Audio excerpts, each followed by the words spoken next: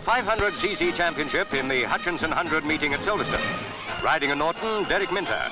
And on his four-cylinder MV Agusta, the great Mike Hailwood.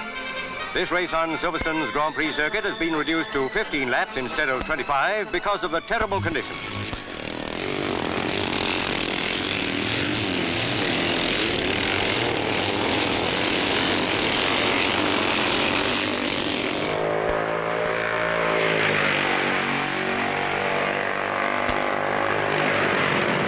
The circuit measures about 2.9 miles. It's a test of riding at any time. On today's surface, only racing experts could maintain anything like this speed. Keeping the lead without apparent effort, Mike Hailwood is lapping some of his rivals well before the end.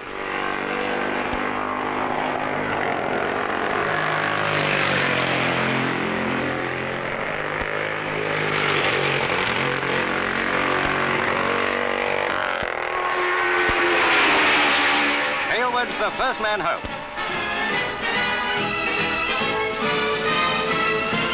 The winner's average speed is 89.1 miles an hour.